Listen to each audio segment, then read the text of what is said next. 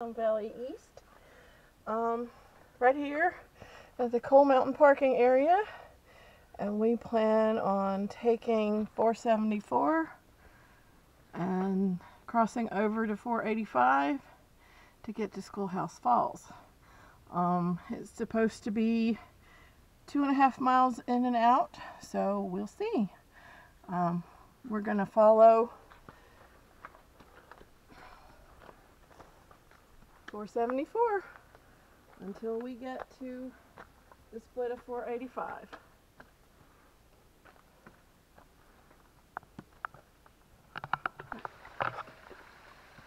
Um, here we have this little wooden walk bridge that we came across. Right before that, um, the trail is uh, full of tree roots, so watch your toes. But after you go across the little footbridge there, it turns into gravel. We are maybe, maybe 0.1, 0.2 miles in right now.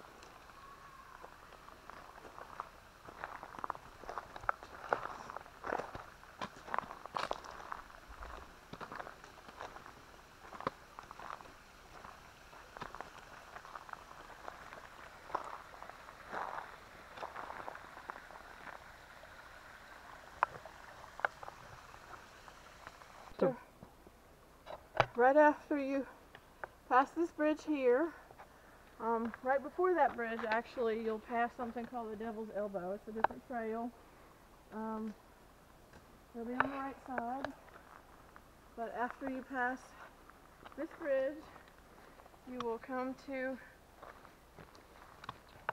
trail number 485 and you'll go from red blazes to green blazes. This trail's on the left after you pass that bridge. And we're still on our way to Schoolhouse Falls. If you want to camp, there's a nice small little creek here. And on both sides of the bridge, there are two very nice wide campsites. We're about a mile in something like that. Something like that, yeah. Onward we go.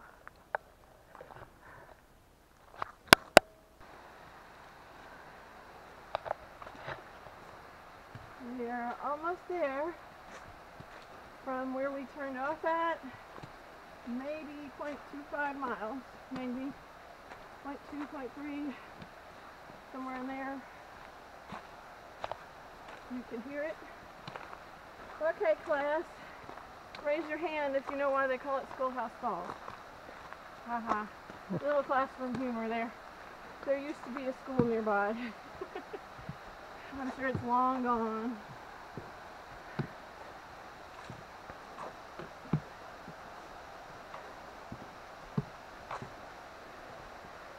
I guess you can go the boardwalk or the dirt path. Yes.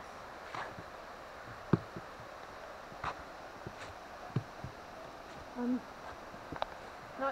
it's going to lead us to the bottom. Going to believe so. I know there's a place to walk behind it. Maybe we're going the right direction to walk.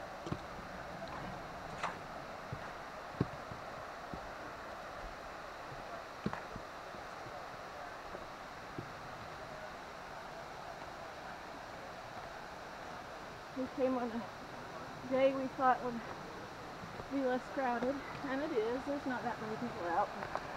I can only imagine what it's like on a weekend.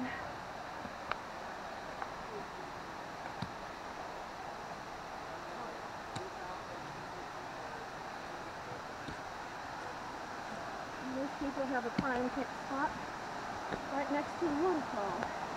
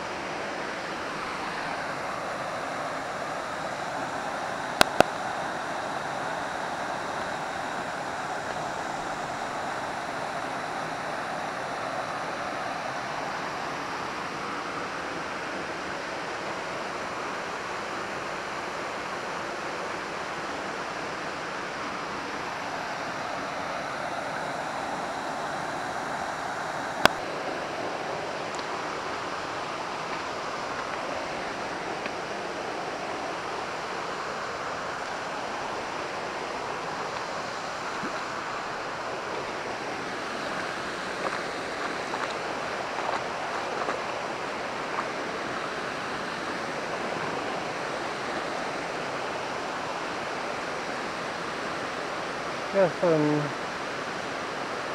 small fish. Don't know if you can see them on camera or not.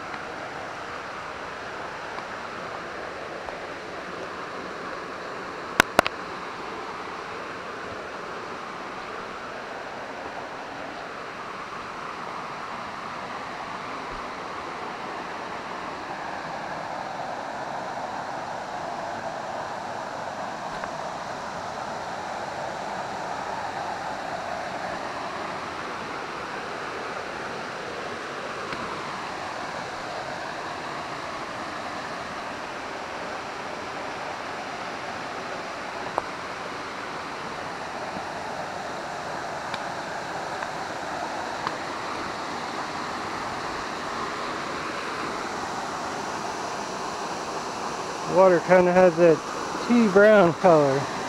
Kind of reminds you of Florida.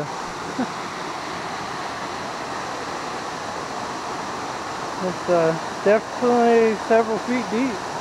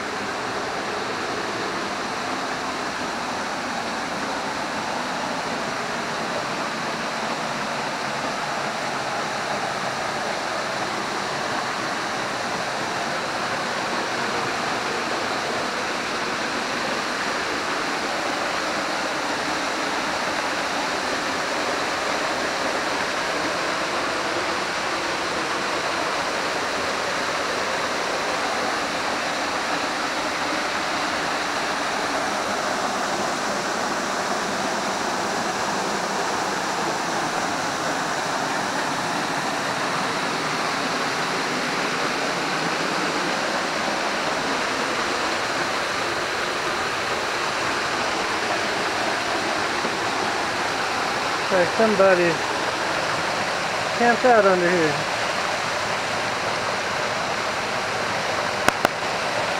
It'd be kind of a cool thing to do until one of those rocks decide to fall on your head.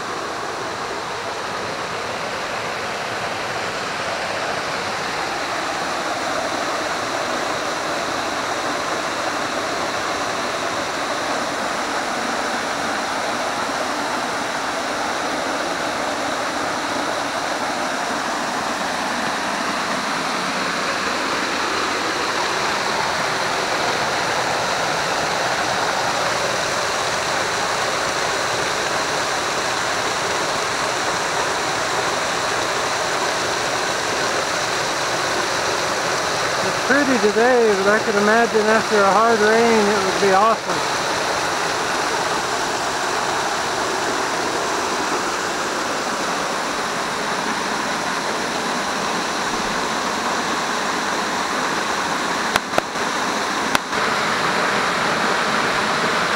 Here we are from the other side.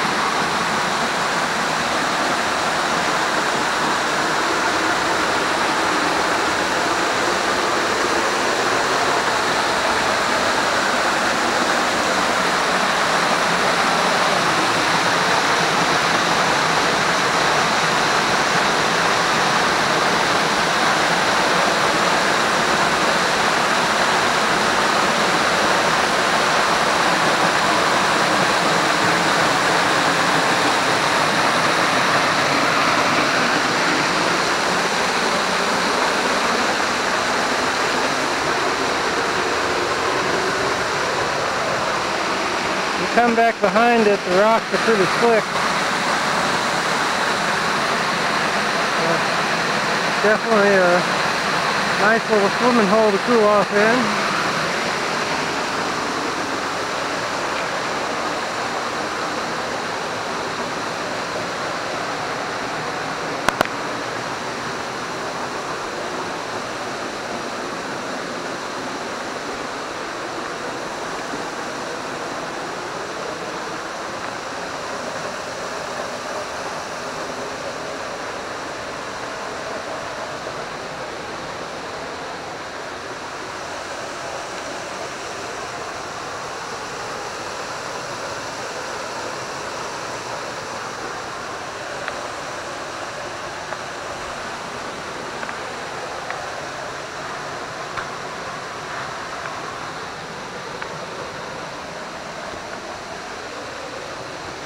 Another camp spot.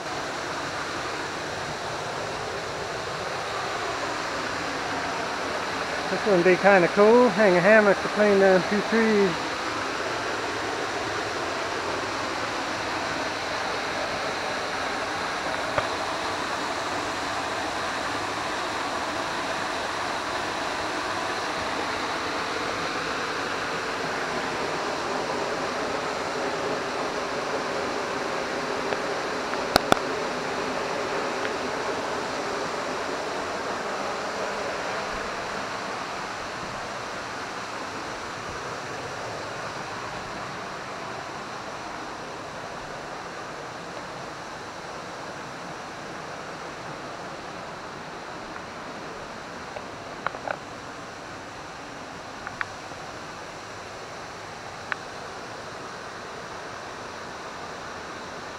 Panther Town's got some cool rocks and stuff. If you haven't never went went to Panther Town, it's definitely an awesome place to check out.